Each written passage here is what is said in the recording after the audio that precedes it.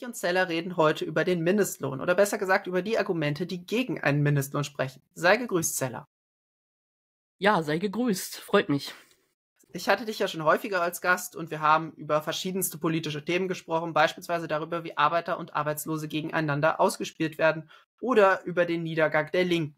Diesmal wollen wir ja darüber sprechen, was gegen den Mindestlohn spricht. Ich meine, mehr Geld für schlecht verdienende Arbeiter, da könnte man erstmal fragen, gibt es da überhaupt ein Argument, was ja, was dagegen sprechen sollte?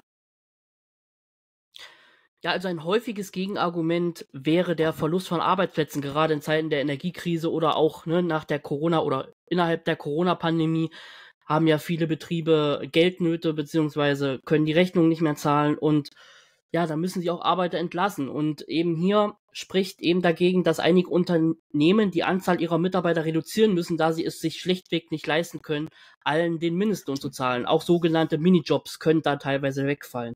Das wäre hm. jetzt mal so ein ja, häufiges Argument, was kommt. Ja, diesem Argument liegt aber ein ganz zentraler Denkfehler zugrunde. Ich meine, so eine Mindestlohnerhöhung, beziehungsweise die Einführung eines Mindestlohns, wir haben ja schon Mindestlohn, aktuell wird, äh, wird ja eher über Erhöhung diskutiert und nicht mehr über die Einführung, die ist ja schon beschlossen. Äh, die zahlen ja alle Unternehmen. Das heißt, wenn jetzt, ich mache mal ein konkretes Beispiel, wenn der Bäcker einen höheren Mindestlohn zahlen muss, dann muss der Bäcker zwei Straßen weiter auch einen höheren Mindestlohn zahlen. Das heißt, keine der beiden Bäckereien hat durch einen höheren Mindestlohn einen Wettbewerbsnachteil. Alle haben einfach nur die gleichen Wettbewerbsbedingungen. Der Mindestlohn sorgt nur für eine gewisse Untergrenze, also dafür, dass Unternehmen nicht durch extremes Lohndumping sich Vorteile erschleichen können, was ja auch gut für die gesamtwirtschaftliche Produktivität ist. Wenn ein Unternehmen sich dadurch durchsetzen kann, dass es seine Arbeiter besonders schlecht behandelt, dann sorgt das eben dafür, dass sich technische Innovationen langsamer durchsetzen werden. Aber ich glaube, dazu werden wir noch kommen. Was spricht denn noch gegen einen mhm. Mindestlohn? Ja, Preissteigerung wäre auch noch so ein äh, Argument, was oft kommt. Da nun, abgesehen von einigen Ausnahmen vom Mindestlohn, alle Arbeitnehmer mit 12 Euro, Stand Oktober 22, brutto in der Stunde entlohnt werden müssen, sind die Kosten für Verbraucher natürlich auch ebenfalls gestiegen. Das macht sich ja vor allem ne, im Dienstleistungsbereich bemerkbar, zum Beispiel Friseursalons, die müssen ja auch ebenfalls ihre Preise erhöhen oder andere Dienstleistungen, genau. Und das wäre dann auch so ein Argument, was oft kommt. Ja, das stimmt auf jeden Fall. Also der Mindestlohn bewirkt erstmal grundsätzlich eine Umverteilung von hohen Lohneinkommen zu niedrigen Lohneinkommen, beziehungsweise eine Umverteilung von Kapitaleinkommen zu niedrigen Lohneinkommen. Wie stark das eine jetzt und wie stark das andere der Fall ist, das kommt eben darauf an, wie gut die Unternehmen ihre Kosten weitergeben können. Wenn die Unternehmen die Mindestlohnerhöhung zu 100 Prozent weitergeben können, dann ja, wirkt sich das auf die Kapitaleinkommen gar nicht auf und äh, sorgt dafür, dass nur Einkommen von höheren Löhnen zu niedrigeren Löhnen umverteilt wird. Die Frage, ob das Gesamtpreis, also wie stark das preissteigernd wirkt, wie stark das da also die Inflation anheizt. Es kommt ähm, darauf an, inwieweit die oberen Löhne steigen. Also dazu muss ich jetzt erstmal grundsätzlich erklären, wie Inflation ja funktioniert. Die Inflation folgt langfristig den Lohnstückkosten. Das heißt, den Lohnkosten geteilt durch die Arbeitsproduktivität. Wenn die Lohn, äh, Lohnstückkosten um zwei Prozent pro Jahr steigen, dann haben wir eine Inflation von zwei Prozent jedes Jahr. Das heißt, wenn die niedrigen Löhne jetzt mal ein Jahr stärker angehoben werden, ich sag mal zehn Prozent durch eine starke Mindestlohnerhöhung, dann hat man hier ein stärkeres Lohnwachstum. Das heißt, man müsste das durch ein niedrigeres Lohnwachstum in den oberen Bereichen ausgleichen. Also dann kriegen beispielsweise Manager oder gut bezahlte Fachkräfte mal ein Jahr ein bisschen weniger Lohnplus oder ein Jahr eine Nullrunde, damit das unten ausgeglichen wird, damit es nicht zur Inflation kommt. Das müsste man natürlich wirtschaftspolitisch begleiten. Da müsste man Maßnahmen ergreifen, da müsste man vor allem mit den Gewerkschaften reden, dass die Lohnabschlüsse erzielen, die unten hohe Lohngewinne ähm, erzielen und die oben für niedrigere beziehungsweise keine Lohngewinne sorgen. Also so, dass sich die Lohnhierarchie wieder staucht. Also dass ähm, der Unterschied zwischen hohen Löhnen und niedrigen Löhnen wieder geringer wird. Der ist die letzten ja, 30 Jahre nämlich ziemlich stark gestiegen. So, ja, weiteres Gegenargument. Die Tarifautonomie wird eingeschränkt. Normalerweise wurden die Arbeitsbedingungen in Tarifverträgen selbstständig festgesetzt. Der Mindestlohn stellt daher einen Eingriff in die Tarifautonomie dar. Dies hat außerdem eine Schwächung der Gewerkschaften zur Folge. Was würdest du denn da entgegnen? Das ist absolut richtig, denn ähm, die Gewerkschaften haben in den letzten ja, Jahrzehnten deutlich an Verhandlungsmacht verloren. Die äh, Tarifbindung ist deutlich zurückgegangen. Aktuell ist nur noch ungefähr die Hälfte aller Deutschen in äh, ja, tarifgebundenen Jobs beschäftigt. Das heißt, die Gewerkschaften, äh, die sind deutlich, deutlich schlechter gestellt als früher. Und da muss der Staat natürlich, wenn er eine aktive Lohnpolitik macht, zu der auch ein Mindestlohn gehört, eingreifen, um dafür zu sorgen, dass die, also dass das nicht noch mehr Druck auf die Löhne ausübt. Wir haben ja schon eine sehr schwache Lohnentwicklung die letzten 30 Jahre gesehen und das hat mit der stark zurückgehenden Tarifbindung zu tun. Mhm. Ja, und ob die Vorschriften zumindest, zumindest so noch eingehalten werden, muss natürlich auch kontrolliert werden. Das heißt, man hat einen größeren bürokratischen Aufwand. Diese Aufgabe würde dann das Zollamt bzw. die Finanzkontrolle Schwarzarbeit, abgekürzt FKS, übernehmen. Es ist also nicht verwunderlich, dass dadurch auch ein höherer ne, Bürokra bürokratischer Aufwand entsteht. Und das wäre zum Beispiel auch noch ein Argument gegen den Mindestlohn. Ja, was jetzt, finde ich, jetzt nicht so schwerwiegend ist, aber dann müsste man ihn komplett abschaffen. Also, also jede, ja. je, jede gesetzliche Regelung, die man ein, äh, einführt, schafft natürlich einen zusätzlichen Aufwand, wenn man sie kontrollieren will. Das ist selbstverständlich. Aber ja da würde auch keiner auf die Idee kommen zu sagen, äh, lass mal die Einkommenssteuer abschaffen, weil die so viel bürokratischen Aufsta äh, Aufwand bedeutet. Es braucht natürlich immer staatliche Regulierung, es braucht immer staatliche ja, Gesetze, um bestimmte Arbeitsstandards herzustellen. Also mit der, dem Argument könnte man gegen jeden Arbeitsschutz argumentieren. Mhm. Mit äh, dem Argument könnte man gegen jedes staatliche Handeln argumentieren. Deswegen, ja, ist das etwas unsinnig, finde ich. Also wir, wir leben halt in einer Gesellschaft, in, dem der Staat, in der der Staat Gesetze erlässt und sie dann durchsetzt und das ist beim Mindestlohn nicht anders. Ja. Ja, und dann haben wir natürlich noch den Fachkräftemangel. Da seit 2015 in Deutschland auch ohne abgeschlossene Ausbildung der Mindestlohn gezahlt werden muss, entscheiden sich eben viele junge Menschen gegen eine meist schlecht bezahlte Lehre oder Arbeit. Dies führt zu einem ohnehin schon hohen Mangel an Fachkräften ja, man sieht ja auch, ne, die Zahlen im Handwerk gehen ja auch immer weiter zurück und ich glaube, die meisten gehen dann lieber ins Büro oder sowas, suchen sich da, äh, ja, aber da was. Muss, ja. Dann, dann muss man da die Löhne anheben. Also und die Arbeitsbedingungen verbessern. Also beispielsweise in der Pflege gibt es ja eigene Mindestlöhne, die könnte man ja auch deutlich anheben, wenn man das politisch wollte.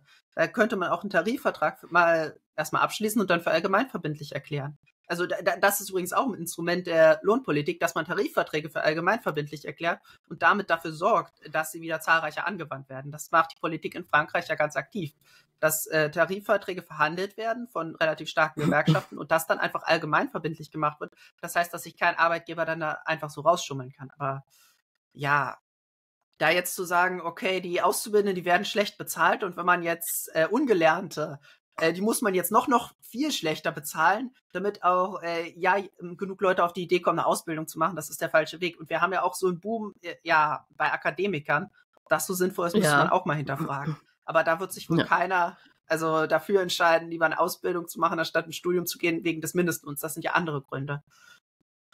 Mhm.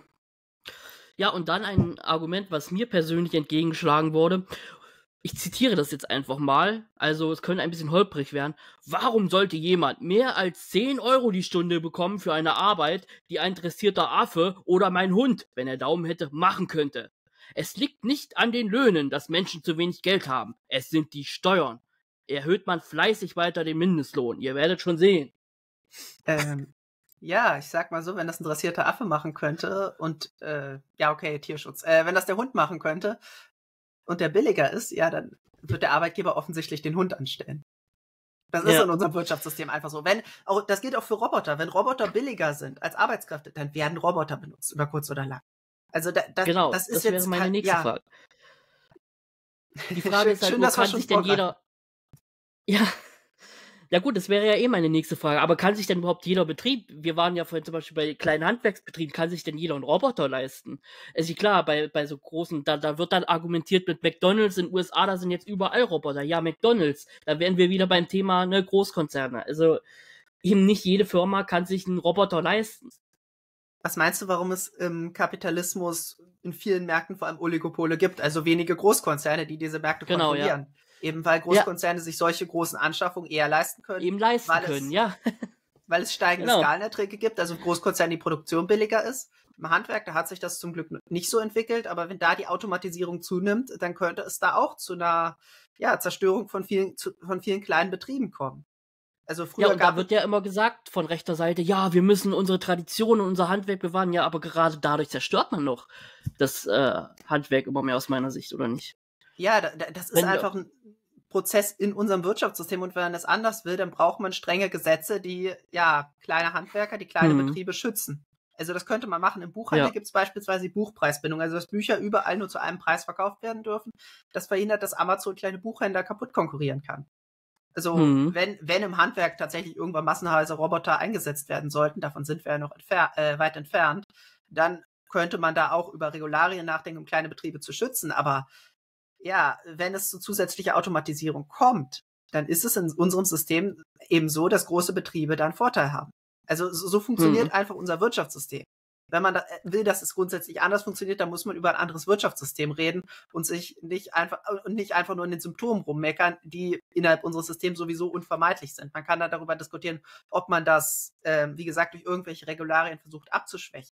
Aber das ist nun mal eine grundlegende systematische Logik. Ja. Ja, gut. Ähm, ich wäre, ich hätte dann soweit nichts mehr. Vielleicht fällt dir noch was ein, ein, ein Kontraargument, wo du gegen dann selber argumentieren könntest. Aber ich habe jetzt soweit erstmal meine Liste abgearbeitet, was hier Ja. an Gegenargumenten ich mir notiert habe. Äh, aus einigen deiner Argumente sprach schon dieses, äh, ja, wenn, wenn die Unternehmen ja die Löhne steigern, dann sorgt das ja dafür, dass da, dafür, dass weniger Arbeit nachgefragt wird. Und ja, dann entlassen die Unternehmen ja Arbeitskräfte. Also das Mhm. sprach so aus dem ersten Argument ein bisschen. Und Genau. das beruht auf dem neoklassischen Arbeitsmarktmodell, dass man einfach eine Angebot, Arbeitsangebots- und eine Arbeitsnachfragekurve ähm, zeichnet. Und die Arbeitsnachfragekurve, die ist eben fallend. Je höher der Lohn ist, desto weniger Arbeit wird von den Unternehmen nachgefragt.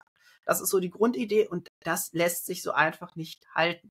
Also es liegt Mhm. erstmal daran, dass Arbeit und Kapital nicht so beliebig substituierbar sind. Natürlich, wenn die Löhne stark steigen und Roboter immer billiger werden, dann ersetzen die Betriebe Arbeiter durch Roboter. Aber wenn sie sich einmal einen Roboter angeschafft haben, dann werden die nicht, so, wenn der Preis für Arbeit wieder um 10% sinkt, sagen, okay, jetzt verschrotten wir den Roboter wieder, jetzt schaffen wir uns wieder Arbeiter an. Nee, die werden bei dem Roboter bleiben. Die haben jetzt eine neue, effizientere Technologie und die werden nicht einfach mehr Arbeiter anstellen. Also das erste Mal, Arbeit und Kapital sind nicht beliebig substituierbar. Und ähm, zweitens sind die Löhne, die die Arbeiter bekommen, ja auch äh, zusätzliche Nachfragen. Das heißt, je höher der Lohn ist, den die Arbeiter haben, desto mehr Produkte können sie auf dem Markt nachfragen. Das heißt, es ist tatsächlich gar nicht, ähm, gar nicht so, dass wenn man den Lohn senkt, dass dann die Unternehmen mehr Arbeit nachfragen äh, würden, sondern ganz im Gegenteil. Wenn man den Lohn senkt, dann fragen die Arbeiter weniger Produkte nach, die Unternehmen müssen ihre Produktion senken, was dazu führt, dass die, ähm, dass die Unternehmen auch weniger Arbeit nachfragen. Also letztlich führen Lohnsenkungen nicht dazu, dass die Arbeitslosigkeit sinkt. Das wäre ja, das müsste ja laut diesem Modell passieren.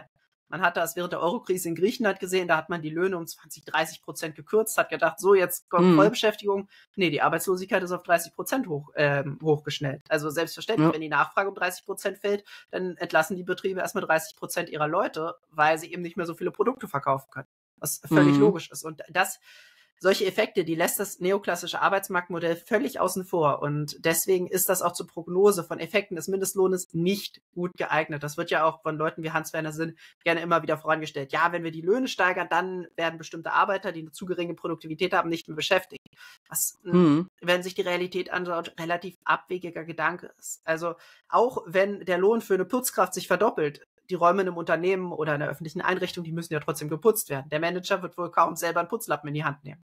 Oder man Mhm. automatisiert das, wenn das technisch möglich ist. Aber dann ist das ja für gesamtwirtschaftlich gesehen sogar eine Produktivitätssteigerung. Das heißt, die Arbeitskräfte, die dann nicht mehr für unproduktive Berufe zur Verfügung stehen, die können dann sinnvoller eingesetzt werden. Also gesamtwirtschaftlich ist das nicht mal etwas Schlechtes, wenn es zu mehr Automatisierung kommt. Ja. Ja, und vielleicht kannst du ja, ich bin da nicht ganz so äh, bewandert, aber in der Vergangenheit, wie hat sich denn das da meistens äh, ausgewirkt? Da hat sich doch das, der Mindestlohn, die Einführung des Mindestlohns hat sich doch eher positiv auf die Wirtschaft ausgewirkt, würde ich jetzt mal behaupten. Aber wie gesagt, vielleicht kannst du da mehr dazu erzählen. Ja, es gibt sehr, sehr verschiedene Studien. Also Mhm. Es ist tatsächlich ähm, etwas komplizierter. Aber bei, beim Mindestlohn, da gab es tatsächlich eine Studie, die hat in Deutschland nach der, dessen Einführung eine leicht produktivitätssteigernde Wirkung festgestellt und die Löhne im unteren Lohnsegment sind leicht gestiegen und die Arbeitslosigkeit ist nicht gestiegen, sondern die ist weiter gesunken.